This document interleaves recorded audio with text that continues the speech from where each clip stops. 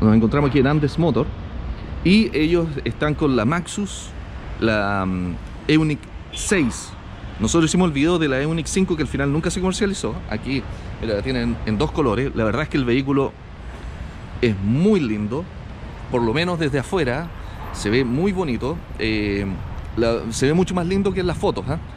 Todas las fotos que he visto, todos los videos que he visto, en persona el vehículo tiene una presencia mucho más bonita. Eh, no sé si elegante, media como deportiva, tiene una trompa emulando un poquitito al Porsche eh, Cayenne, una cosa así, bueno, por las luces, ¿no? Tiene todo esto, estas luces que son full LED. Eh, la trompa es muy interesante, obviamente no tiene, no tiene una parrilla delantera, excepto aquí abajo que es las tomas de enfriamiento de las baterías. El auto es muy amplio, acá tenemos las llaves, Vamos a abrir. Vamos a ver de abrir acá atrás. Vamos a ver si se abre. Mira.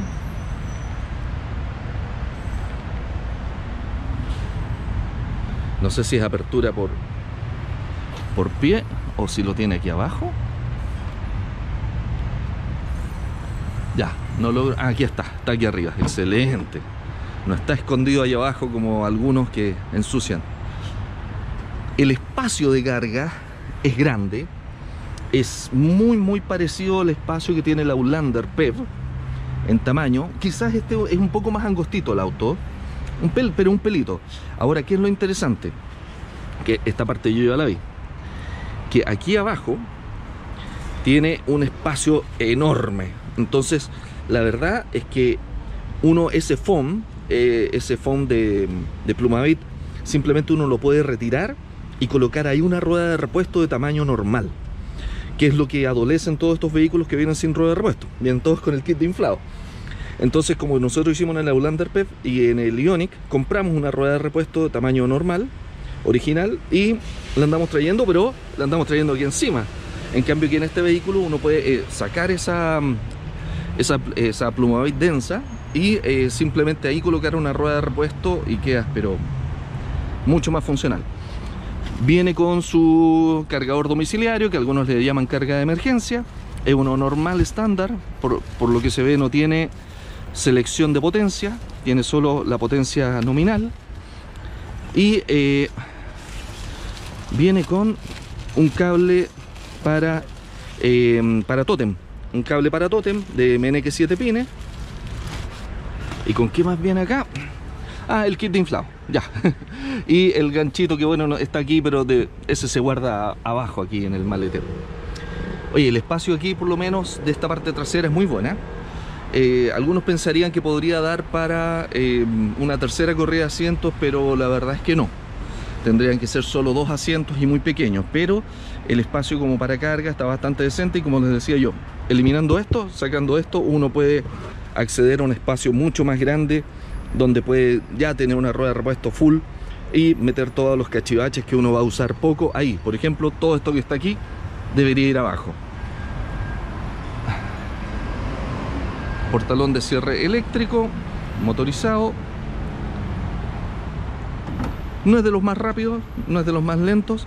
Este no tiene activación por pie. ¿No? ¿No? Ya. Lo bueno es que pusieron aquí el botón. Eso está muy bueno porque muchos autos están viniendo con el botón acá abajo junto con la cámara y ese botón se ensucia y uno después cuando mete la mano para acá a tocar saca la mano toda sucia, bueno, es un desastre. Eh, a ver, vamos a entrar por este lado porque ahí está medio apretado. Vamos a ver las plazas traseras. Bueno, no sé en qué posición están los asientos pero eh, vamos a sacar las cosas que sobran. Mira Sentado yo aquí, quedo con un puño. Estoy sentado eh, casi reclinado. No sé si tienen reclinación estos asientos. Y puedo meter los pies adentro, por debajo, sin ningún problema. Tiene espacio de más. Es plano totalmente. Viene con tomas de corriente. No, no lo echa adelante, es todo lo contrario, echarlo hacia atrás. Por ejemplo, ¿eso es el máximo atrás? Mira, ese es el máximo atrás del asiento y a mí me queda un puño, yo mido casi 1,90, 1,89 y fracción y me queda estupendo. Quizás un poquitín alto eh, las rodillas, pero acomodándose, uno realmente queda súper, súper bien. Me imagino que tiene algún tipo de reclinación el asiento o posiciones. No, parece que no. Este es fijo. No tienen posiciones de reclinación, pero la verdad es que el asiento trasero es muy rico, muy cómodo. No tiene túnel central. Tiene el apoya. El asiento central está bastante bien. La distancia a la cabeza, al techo, con mi estatura, estoy bastante bien aquí en, el, central. O sea, no me topa ni de cerca. Y es todo blandito. Sentado luego aquí atrás, detrás de la posición de manejo, más cómodo aún. La verdad es que, bueno, aquí estos son plásticos duros, aquí podrían haber sido plásticos blandos. Esto para apoyar el codo aquí es blando. Eh, pero así de buenas a primeras, eh, se ve bastante bien el vehículo, se ve muy rico. Se, ve como cómodo, de primera instancia. Ahora vamos a pasar a las plazas delanteras y vamos a abrir el portalón. Este no trae front, ¿verdad? No trae espacio para cargar adelante, para guardar cosas, ¿no? Viene con el motor nada más, lo típico de la mayoría de los vehículos eléctricos.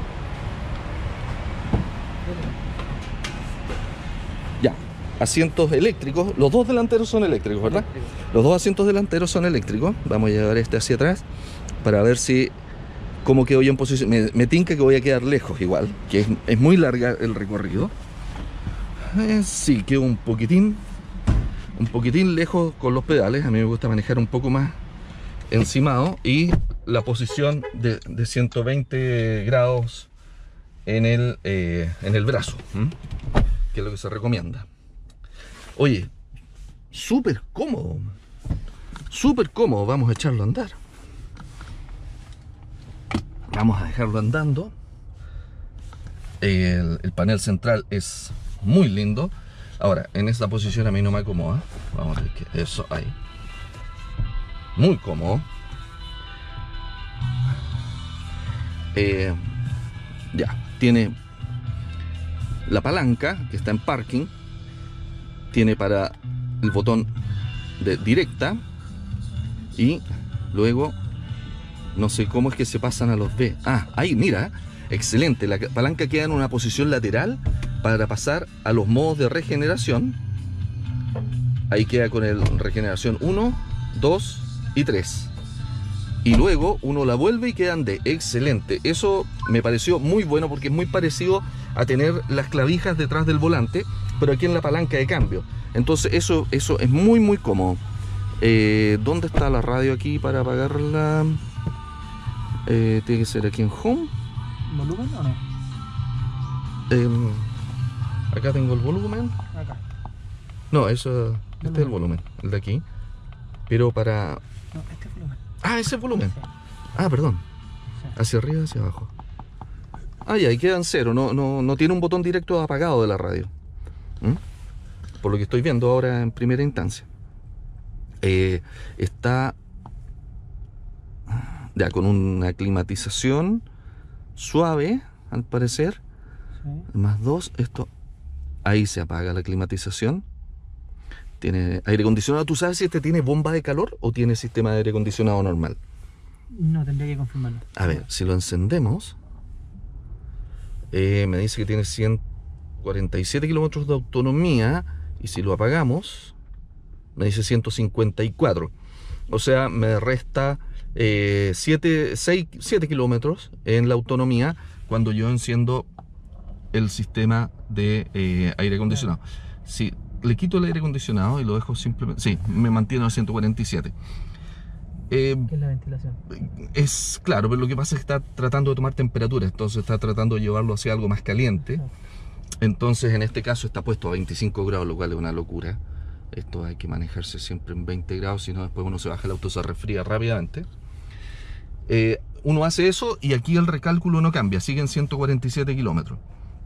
Eso nos indica que eh, tiene un gasto constante. Son 7 kilómetros que me restó em, con el sistema de calefacción y con el sistema de aire acondicionado también dice lo mismo. ¿Qué sucede con eso? Deberíamos pensar que es una bomba de calor, porque es más eficiente. La mayoría de los autos que no tienen bomba de calor, cuando uno hace eso, te restan 20, a veces hasta 30 kilómetros de autonomía de lo que te indica, de lo que te resta, de lo que te falta. Pero eso va a depender de cómo maneje y, y cuán eficiente sea el manejo en su eh, sistema de calefacción o de enfriamiento. Lo que estaba mostrando aquí, la palanca es muy cómoda. Eh, tiene eso sí el, el botón de activación aquí. Este botón, eh, hay otros autos que lo traen y yo creo que está de más. Que es para ponerlo ahí en, en reversa en este caso. Viene con la cámara 360. eh, que en este momento como que no está muy... Aquí está, pero esta... Ah, esta es para elegir. Uno elige las vistas. qué cámara es la que uno quiere ver. Esa cámara frontal es muy buena porque cuando uno se está acercando a ciertas cosas donde pueden haber o piedras o alguna cuneta levantada o alguna cosa así, uno nunca ve la parte frontal y a veces uno engancha el, como el bigote del auto y eso es, terrible porque uno siempre los termina arrastrando esos bigotes. En cambio que al tener esta cámara uno eh, evita todo eso. Eh, uno puede estar observando cualquiera de, de las opciones de cámara a elección. Estas se pueden encender cuando uno está andando hacia adelante. Tendríamos que probarlo. Sí, yo la verdad es ¿Ya? primera vez también que me subo. Perfecto. Sí. Entonces ahí está en neutro, ahí está en directa y eh, las cámaras quedaron encendidas. Eh, Tú abriste el capó antes, lo dejaste cerrado, Está ¿no? cerrado, sí. Está Ya, no había nada por así, No, está, simplemente el motor. sí. Ah, está cubierto. Está cubierto. No ya, entonces después espacio. también lo quiero ver, eso. ¿Sabes No, qué? Lo voy a ver al tiro. Este, el freno de manos es aquí. Acá. Este, ahí se activa, hacia abajo se saca. Sí. Entonces vamos a ver inmediatamente El habitáculo del motor. el habitáculo del motor. Ya, las puertas, por lo menos las delanteras, todo en materiales blandos. Aquí no, pero acá, acá, todos los lugares donde uno va a apoyar, ponte tú aquí, donde uno apoya la pierna cuando va viajando. Lo mismo que acá, donde uno apoya la pierna derecha cuando va viajando también, eh, son materiales blandos, lo cual es mucho más cómodo que muchos otros vehículos que hemos visto. Ya, aquí tenemos entonces el no motor, no se ve nada. Simplemente tenemos las tapas, seguramente para acceder a la batería de 12 volt, para acce- acceder a los lugares donde se ponen los líquidos. Ah, ya, este es el de corte de emergencia. Ahí uno accede directamente a los cables de potencia en caso de tener un accidente, esto es para los bomberos. Ahí acceden directo a eso. Ahora acá. Ahí está, hay un líquido, ¿De freno? de líquido de freno. La verdad es que está bien incómodo, porque echar el líquido hacia allá, es, porque no está al frente, está como corrido hacia un lado. Qué raro. Esta no cerró bien. Bueno, acá tenemos el, el líquido para el sapito y pare de contar, porque a esto no se les echan aceite, acuérdense, esto es un auto 100% eléctrico, con aproximadamente 450 kilómetros de autonomía. Eso es lo que está por catálogo según eh, el, sistema WLTP y no el NEC. Gracias a Dios no vino con norma NEC, sino que viene con norma WLTP. Lo otro es que tiene pistones para sujetar el, el portalón frontal, eh, el capó. Entonces uno simplemente lo levanta y esto se lo lleva solo hacia arriba y no hay que estar colocando la varilla, ni es un desastre eso. Y obviamente con un poco de presión uno lo baja y hay que, hay que darle más fuerte. Más. Ahí está. Bueno, ahora vamos a ir a probarlo, eh, a manejarlo un poco. El auto está muy lindo, estoy esperando a ver si en alguno de los ruegos eh, nos lo facilitan por más de un día. Hasta ahora el, auto me encantó, así que vamos a ir eh, a probarlo en primera persona. Sacarme el teléfono del bolsillo, eso sí. ¿Qué cosa? Ah, aquí hay cargador, mira. A ver si el cargador funciona. Está cargando inmediatamente. Cargador inalámbrico. El espacio aquí es pequeñito, no es muy grande. eh, pero tiene un, buen lugar para el cargador. Ah, no se engancha, permiso. No, no se engancha, mira. No tiene un sistema de enganche. Queda... ¿Y esto? Helter. Tiene varios detalles que hay que ir aprendiendo, ¿no? Acá, para abrir el techo. No. ¿Ese de ahí? Ya, ahí se abre. Esa es la cubierta que nos da eh, un sunroof Completamente panorámico para las personas de atrás, lo cual les, les agrega una espaciosidad, por así decirlo, en su habitáculo muy, muy agradable. Ahí se cierra. ¿Se cierra en dos tramos por toque o se cierra de un viaje? Se cierra en dos tramos. O sea, cada vez que uno le da un toque, cierra un tramo. Excelente, pero la verdad, andar así es muy rico. Andar con luminosidad superior. Y viene eh, un poco teñido este, ¿no? Claro, no viene clear, sino que viene un poco oscurecido para, eh, para tener más visual. Y este, ahí tiene su segunda etapa. Ahí se abre completamente y tiene su sistema de rejilla acá. Es una rejilla blanda que es como una tela. Estas telitas tienen el problema que eh, se queman con el tiempo. Ahora, bueno, duran unos 4 o 5 años y uno quizás en 4 o 5 años ya ha cambiado este tipo de vehículos, ¿no?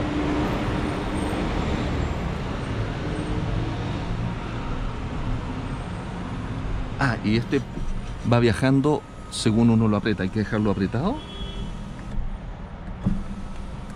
para que cierre completamente. Perfecto. Ya. En eso estamos bien. Tiene indicación de las puertas, de todo el sistema completo. Tiene un indicador de economía, eh, que es por lo que veo le han dado guaraca al pobre. Porque está indicándonos que su consumo promedio son de 25.5 kilowatt hora cada 100 kilómetros, lo cual es un consumo altísimo, o sea, está mucho más alto que un Tesla X. Los Tesla X andan en 21, más o menos 22. Eso implica que le han metido chala, pero bueno, este es el test drive. Este es un auto que lo están pasando justamente para pruebas. Eh, aquí está la altura de las luces. Tiene el sistema para poder subirla y bajarla para comodidad de las otras personas, para no pegarle el golpe de luz en la cara. Acá está el sistema para poder eh, calibrar los espejos retrovisores. Bien amplio todo. Lo que sí no tiene memoria de asiento. Eso, eso le faltó.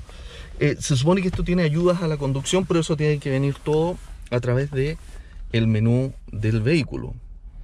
Eh, blind spot detection está eh, forward collision warning. Aquí hay- uno se lo puede sacar o poner.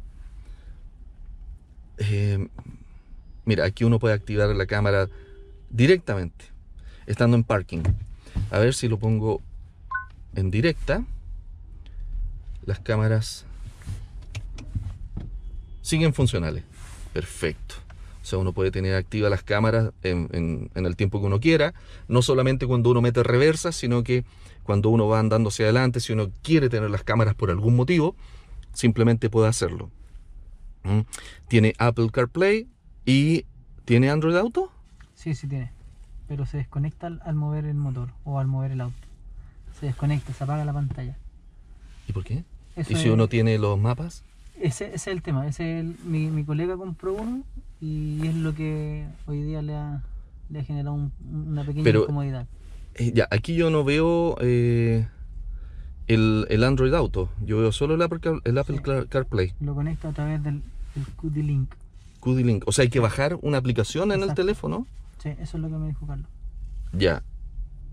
Ya, eso está extraño. Sí, eso es que hay que ver, probarlo Claro, por ejemplo, ese tipo de cosas me gustaría Sí. probarlas más en, en- en detalle. en detalle, claro. Sí, Porque si no tendría que buscar un lugar donde poner mi teléfono, claro. que es un teléfono grandote, ¿cachai? Eh, habría que buscar dónde engancharlo para poder tener los mapas. Pasa que mi, compa- mi colega también tiene Android, proyecta su, su teléfono y al ponerse en marcha se apaga la imagen como un sistema de seguridad. Ya, Que entiendo que con Apple CarPlay no. Ya, eso es, bueno, pero son cosas que hay que ir chequeando. Sí. Eh, ahora vamos a hacer entonces una prueba de manejo simple. Vamos a dar una- un par de vueltas aquí a una cuadra, qué sé yo, para ver cómo se siente el vehículo, la potencia y todo lo demás. Eh, no voy a grabar todo eso, a no ser que tú me lleves la cámara. Sí, yo le llevo. que- yo vaya hablando directamente. Bueno, tiene, ah, tiene calefacción de asiento en dos niveles. Eh, tiene el auto hold, que es muy bueno. Eso es muy agradable porque uno tiene en directa y uno simplemente saca el pie del acelerador uno saca el pie del acelerador y el auto no avanza. Se queda ahí, estamos en directa. Y el auto no avanza y yo no tengo puesto el pie en el acelerador, ni en el freno, en ninguna parte. Lo que sí es rico también, tiene harto espacio aquí, ¿ah? como para poner el segundo pie, para ir acomodándolo. Aquí es lo que yo decía, cuando uno va en carretera, uno apoya el pie aquí al lado y esto es blando. A mí ya me pasó en otro vehículo que esto era duro y en el pique que nos pegamos era incómodo. Eh, aquí en este caso es blando. Cuando uno apoya acá también, en esta zona, ahí es blando, donde uno apoya la pierna, cuando uno va en carretera o cuando uno saca el pie del acelerador. Bueno, esta parte no, es blanda, pero aquí abajo sí. Lo que pasa es que yo tengo las patas muy largas, ese es otro problema. ese, es un problema de, de, ¿cómo se llama?, de fabricación. Acá tiene un botón que es del Line Assist, seguramente. Eh, ah, no, es del sonido este emite un sonido para avisar a los transeúntes cuando el auto está andando. debe emitirlo, ¿no? ¿Tú sabes eso? Se emite un sonido suave. Mm. Sí, tiene como un zumbido. ¿Vamos por acá? Sí. Ok hemos movido un poquitito el auto, lo, movimos eh, dentro de las dependencias de Andes Motor por el momento, ¿ah? no hemos salido a la calle. Eh, hemos instalado la aplicación QLink, pero la QD-Link, perdón, pero esa funciona solo por cable. Entonces viene con Apple CarPlay, pero no viene con Android Auto, sino que viene con otra aplicación que se conecta a través de esa otra aplicación eh, para conectarlo a la pantalla. Me decía este muchacho que eh, cuando uno anda con el auto, esa aplicación se apaga. Entonces no es un full Android Auto. Em, ahí hay un grave error, yo creo. Hay un grave error con eso, pero bueno, eh, son cosas que uno las puede soslayar utilizando el teléfono, colocándolo en alguna parte. Ahora, volvemos a la calidad del vehículo. La calidad del vehículo está exquisito, está muy lindo, está muy bueno. Eh, nada que decir, los asientos son muy cómodos. Yo, por ejemplo, ando con todos mis documentos dentro de los, adentro de los bolsillos, inclusive la chequera, que no la uso nunca ahí, porque realmente la chequera me incomoda atrás en el bolsillo. Y en este caso la estoy usando y el asiento te, toma, te abraza muy, muy bien. Eh, hay cosas que no hemos estudiado del auto, que son las pantallas, los, distintos screens que, que pueda traer. Y, ok. Eso tiene que ver con la radio. Esto tiene que ver con los eh, con los niveles. Ahí está el backlight, eh, middle, eh, setting, concision, eh, loading, que está. Beautiful not connected, ya no está conectado el, teléfono. Ah, mira, podría quizás que ahí aparezca la información del teléfono. ¿Mm? Podríamos tratar de conectarlo vía Bluetooth. Ahí está la información de qué radio es la que está funcionando y ahí está la información de consumo. Entonces, vamos a tratar de linkear el teléfono, que ya nos ha pasado con otros autos que es súper complicado a veces linkear el, el teléfono por Bluetooth, lo cual debería ser ultra, ultra sencillo. Aquí vamos a dejar andando eso. Vamos a irnos acá. Eh, donde debiese ser esto. Ah, ¿Qué es eso? Ah, por acá creo que estaba aquí. Buscando iPhone, iPhone. Z Fold Gerardo. Ahí estoy yo. Ese. Vamos a ver qué sucede. Ok. Vincular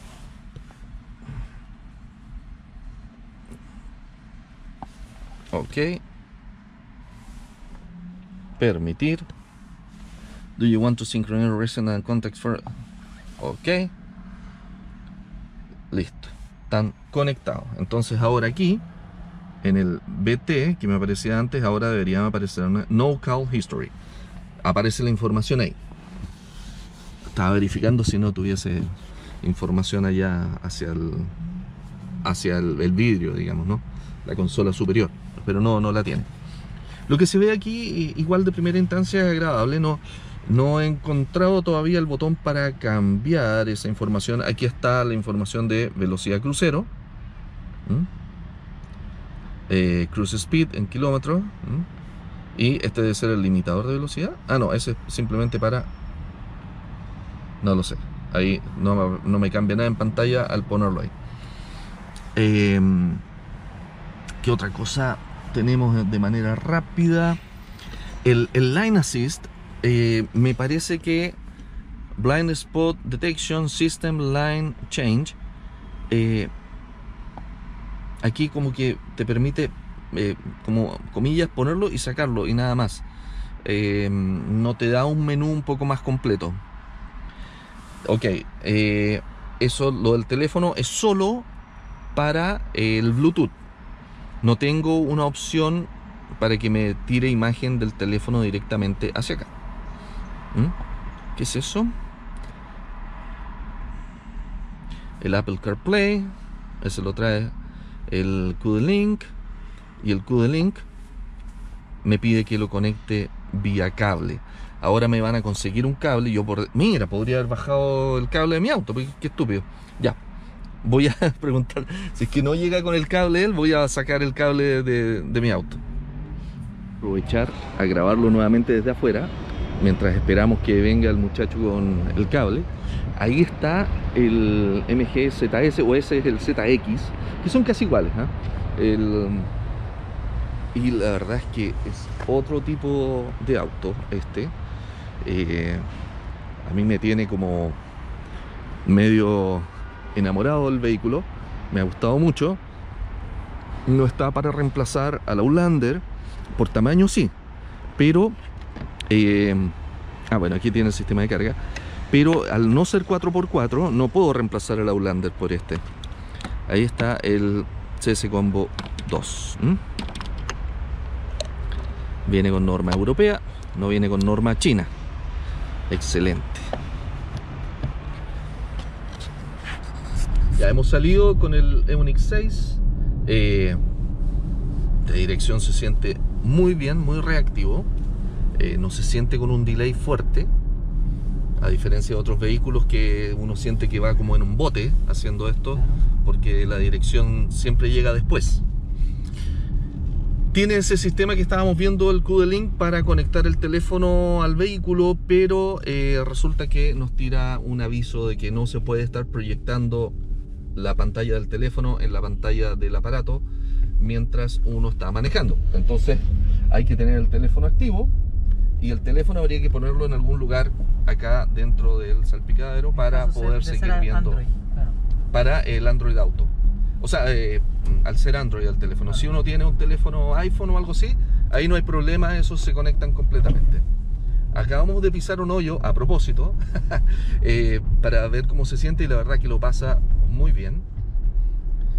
Y eh, lo que yo quiero ver acá es donde tiene información de el regenerativo, dónde estamos consumiendo y dónde estamos regenerando. Esa información al parecer aquí no la tiene inicialmente. Vamos a ver si es que hay algo, directamente, porque acá solo nos da el, historial, como el historial de todo, eh, cómo se ha manejado el vehículo. Y eh, pero no tenemos ninguna parte que nos indique en forma directa, a ver si lo pasamos a normal, tampoco, ah, ahí está, ahí está el power, y luego al frenar, ahí está el regenerativo que lo tenemos en el mínimo, lo tenemos en, eco, en el Sport, y vamos a salirnos de acá, para no irnos por carreteras, y eh, vamos a pasar a una regeneración más potente, a ver cómo es que reacciona cuando uno suelta el acelerador, ya frena bastante. Vamos a ver cuánto nos frena. Vamos a meternos detrás de la micro a ver qué sucede. No nos frena 100%, eh, pero sí nos da un indicador de power con un número en positivo o en negativo. Mira, un poquitito. Que es ese que está acá. ¿Ya? Cuando estoy en regeneración, me indica en negativo y si estoy en consumo va a subir a positivo. Lo tengo en este momento en formato Sport el vehículo. Em, me está indicando una A aquí que yo no, sé qué es lo que es en este instante. Debe ser del auto hold. Ah, eso es. Es el auto hold. Si yo se lo saco, a ver, se lo saqué, desaparece. Perfecto. El auto hold queda en verde, eh, que es muy cómodo para mí. Yo, yo lo hallo como dice. Hay gente que no le gusta, Gente que prefiere que funcione como un auto automático nada más que cuando uno apenas suelta. Ven, ahí están los números que yo decía, que ahora están en números positivos. Y si eh, pasa a regeneración, inmediatamente pasa a números negativos. ¿Mm? Eh, tiene linda salida el vehículo, pero como les decía, ¿pues sigo derecho? Sí. Eh, como les decía, no tiene una salida de patada, o sea, eh, es progresiva. Ah, Ya hemos probado varios autos, en toda la línea, por ejemplo, eh, de los Peugeot, Renault, el, el mismo DS de Citroën, todos esos, vienen así, que uno aprieta el acelerador y se demora un segundito en reaccionar y después sale. Sale fuerte, eso sí, después. Eh, a diferencia de otros vehículos que tienen una salida que salen pelando forro y todo ese tipo de cosas. Ahora, acá no le hemos pillado donde se desactiva, por ejemplo, el control de tracción. Debe traerlo por menú, seguramente, si es que se puede desactivar. Hay algunos vehículos que simplemente no se les permite desactivar el control de tracción. Aquí lo trae, lo trae por un botón. Acabamos de verlo. Ahí está en off. Y eso, ya, no, eso tampoco nos quita ese delay que tiene en la salida, pero de que sale fuerte, sale fuerte después. Bien. Vamos saliendo de carretera para no entrar a, a la carretera de arriba.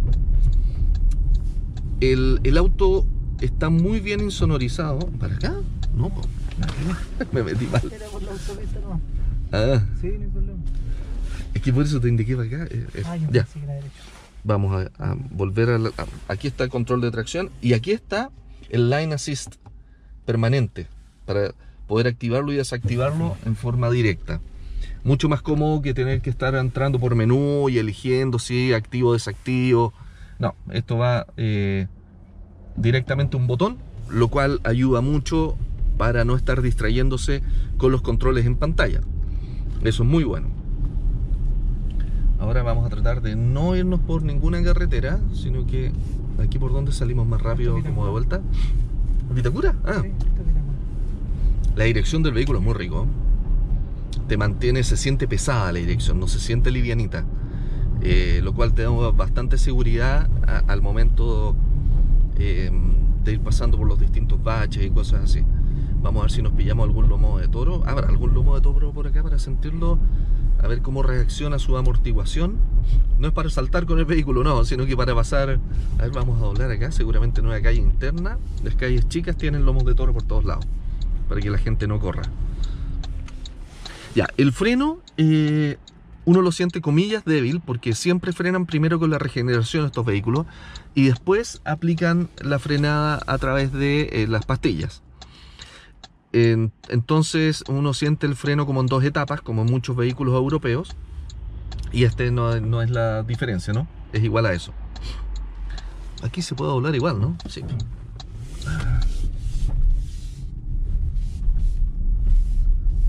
Ya, ahí ya vimos un lomo de toro, vamos a sentirlo inmediatamente a ver cómo es la suspensión al pasar por ese tipo de cosas.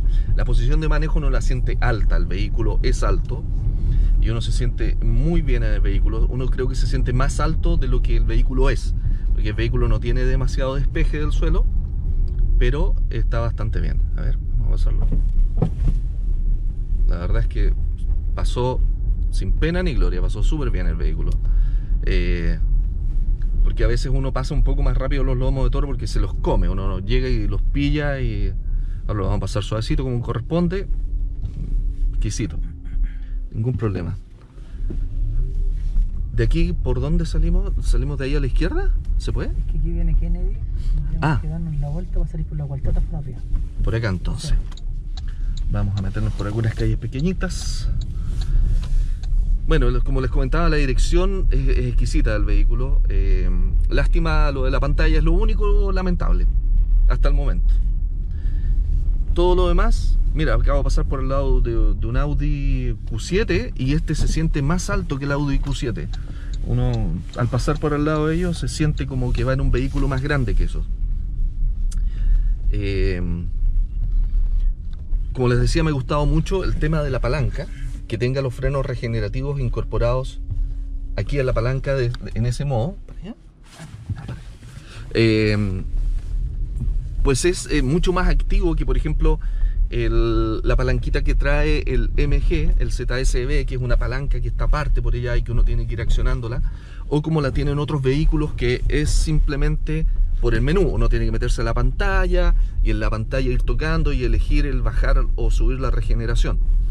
Eso es un desastre porque eh, no te permite eh, un, manejo activo con respecto a lo que tiene que ver eh, a lo que tiene que ver con el, la- el regenerativo del vehículo. Entonces, cuando tú tienes la capacidad de ir activamente bajando y subiendo la regeneración, eso te permite eh, hacer una conducción activa mucho más eficiente. Así que, nada, ¿qué les voy a decir? Hasta el momento, excelente el vehículo. Lo- Bueno, tiene un valor de 39.9 millones hasta este momento, las primeras unidades, las primeras 20 20 unidades. unidades. Y después va a subir a 44. 6. 46. 46 millones, ¿no? Por allá. Y viene con un Goldbox de regalo. Viene por la primera aquí. La primera. Viene con un wallbox. Eh, dicen de regalo, pero tú sabes que todo ese tipo de cosas están negociadas con las empresas que venden la electricidad. Entonces, obviamente están los distribuidores eléctricos en conjunción con Copec.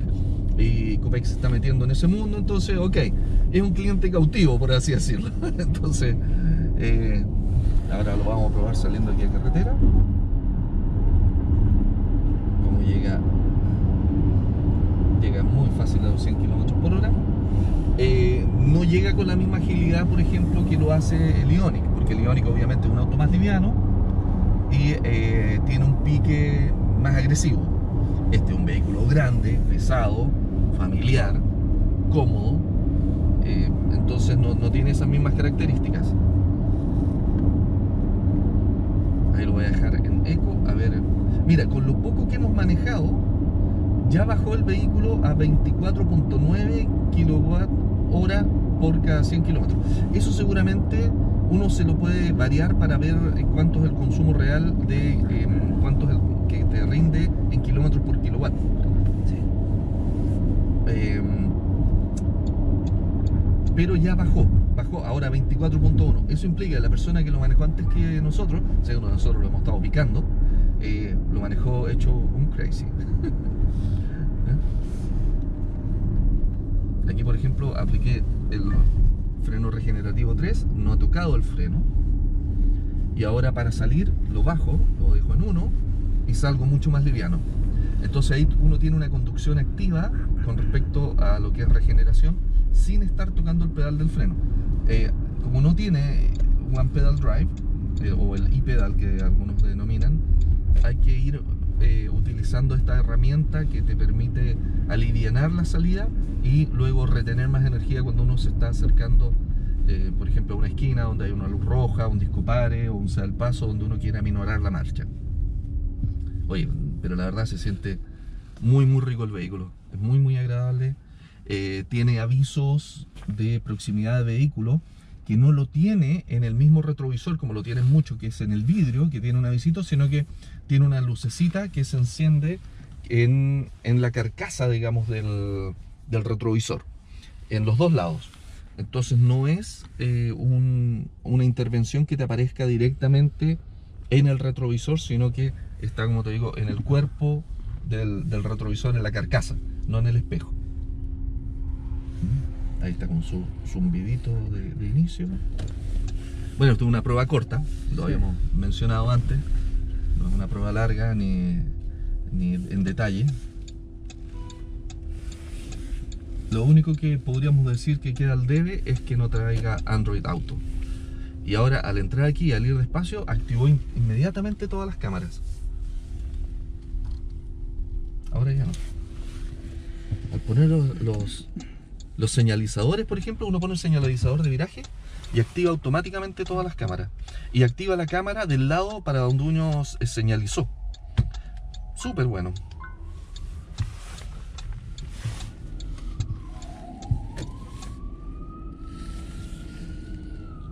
No, no sé si está sucia o la calidad de la cámara es media baja. Eso Hay que, hay que yo creo que puede estar un poco sucio. Aunque las calidades de este tipo de cosas nunca son muy altas, pero ahí, ahí es. Perfecto. Ok. esta ha sido la vuelta inicial, la primera pasada por este vehículo.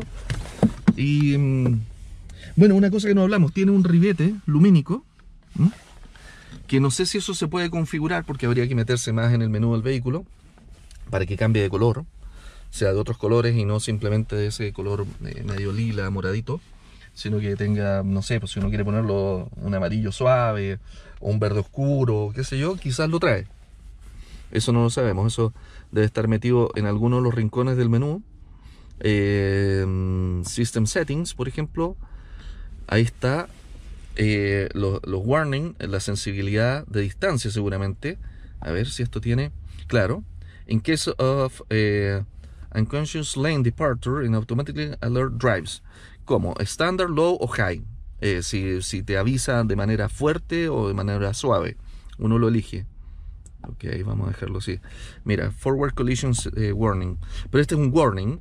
Ojo, que muchos se confunden con esto pensando que tiene un sistema de frenado automático. No sé si este tiene frenado automático. Por lo menos los otros autos que hemos probado, lo que tienen es simplemente un warning. Dice Assist Mode. Eh, al parecer este sí lo trae, un sistema de frenado, o sea que te frena el vehículo. Eh, eh, a ver, if a potential collision is detected, remind a driver and automatically apply braking if necessary. Claro, este lo trae. Este frena automáticamente si es que uno no ha frenado. Eso implica cuando el vehículo ya está mucho más cerca del otro vehículo a ser colisionado. Y el warning, uno aquí le pone la distancia en estándar o low. Low se usa para cuando uno está en ciudad. Estándar es cuando uno anda en las carreteras, no en las carreteras o las autopistas, sino que en las carreteras, digamos, eh, entre pueblos, por así decir, esos caminos eh, no urbanos. Ahí se ocupa el estándar. Y high es cuando uno está en carretera porque ahí eh, aplica el aviso a mayor distancia, porque obviamente hay que respetar las distancias entre vehículos. Eh, blind Spot, que es está activo.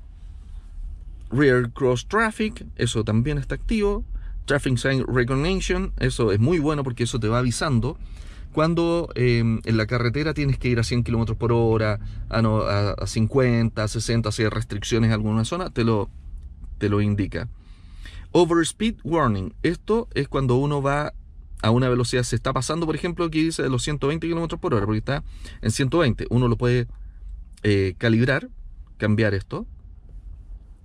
Parece que aquí no se puede directamente. Ah, porque está inactivo. Hay que tenerlo activo. Veamos si eso se puede cambiar.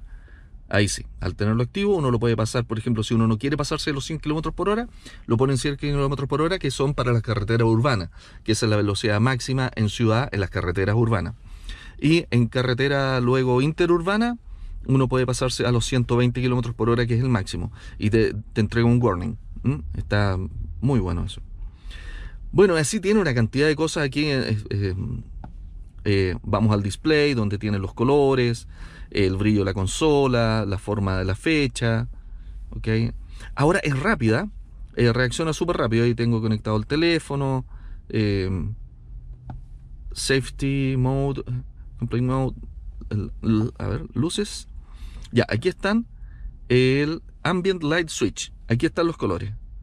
Ahí lo pasé a, un rojo. ¿Mm? No sé si se alcanzará a notar en el video, espero que sí, pero eso que estaba de otro color, mira, lo voy pasando y va pasando al color que uno quiere. A mí me gusta el verde, porque verde que te quiero verde, eh, y uno le puede dar también la intensidad, porque de noche a veces eso puede molestar, entonces simplemente uno lo puede variar. Lo puede dejar en auto y ahí va cambiando, no, sé, pero disco. No, eso no me gusta. Y aquí está cuando uno lo deja en auto, eh, la cantidad de segundos que va a estar en cada uno de los colores. Mm, tiene voice también para asistencia por voz de algunos de los sistemas. System and resets. System information. Aquí esto debiera entregarnos. Ah, no.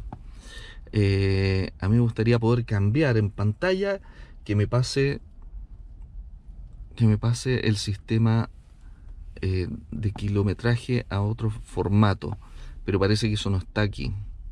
Eso debe estar en alguna configuración que no logro encontrar aquí en el volante o hacia acá, cosa que aquí en vez de presentarme esos 24.1 kilowatt por hora, eh, kilowatt hora por cada 100 kilómetros, me lo presente en consumo directamente cantidad de kilómetros que me entrega por cada kilowatt. Em, ese tipo de pequeñas cosillas creo que eh, no sé si la trae voy a buscar algún botón que esté medio escondido porque no tengo más a ver si le pongo aquí ok quizás podría entrar a esa. No ya yo quiero en esa y eh, si dejo apretado no, no entra en, ah ahí veamos. Aquí tiene. High voltage 1 ampere high more info. Ahí está el kilometraje del vehículo. Ah, la mantención. Ahí está la presión de la rueda. Bueno al abrir la puerta se va eh, la información de presión de la rueda. Al cerrar la puerta debería volver. Ahí está la presión de la rueda. Eh, está en kilopascal. Muy desagradable. No debería estar en kilopascal. Debería estar en PSI porque aquí ocupamos PSI entonces eso eh, también hay que buscar alguna parte del menú donde hay que cambiar todo ese tipo de cosas que hasta el momento no lo he encontrado. Em, power Range y ahí volvemos a esa inicial. Mm, habría que buscar a ver eh, de qué manera quizás en el manual se pueden encontrar ese tipo de cosas de cómo modificarle eso porque la verdad es que nadie usa aquí los, kilopascales. Eh, aquí se usa en otro formato. Y al dejar apretado el OK no me da opciones de cambio de eso.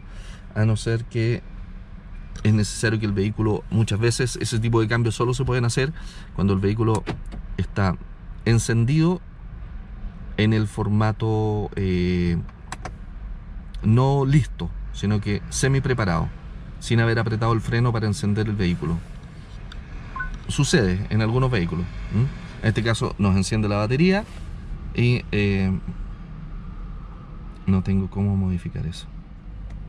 No. Y aquí esto es para pasar a esos otros. Backlight, middle. Eh. Ah, ese es el teléfono. Not provided, no. Eso es la radio. Y esto es esto otro. Mm, y tiene un OK ahí. Y el, pero el OK es para el, la velocidad crucero. Eh, ok, bueno, hasta el momento, ¿qué quieren que les diga? El vehículo, desde mi perspectiva, se saca un como un 6 por el hecho de no tener Android Auto y eh, por no tener una forma rápida de acceder a los menús para poder modificarle ese tipo de cosas. Debería ser porque eh, hay países que ocupan distintas medidas de, presión, por ejemplo, para neumáticos, de medición de, de consumo, en este caso esa típica norma de eh, kilowatt hora cada 100 kilómetros totalmente diferente. Ok, así que los dejo y esperemos que podamos llevarnos este auto y hacer una prueba intensa.